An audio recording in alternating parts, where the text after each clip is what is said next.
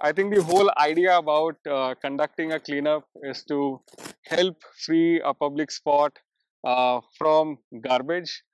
Uh, it's important to uh, you know restore the environmental uh, significance, environmental importance of that place, uh, and if possible, please conduct such cleanups in your vicinity, or if you want to join any of our groups, be it We Mean to Clean or New Delhi Nature Society or Consumer Voice, you can do in collaboration with them. I think the whole idea should be that we should try and clean up our surroundings.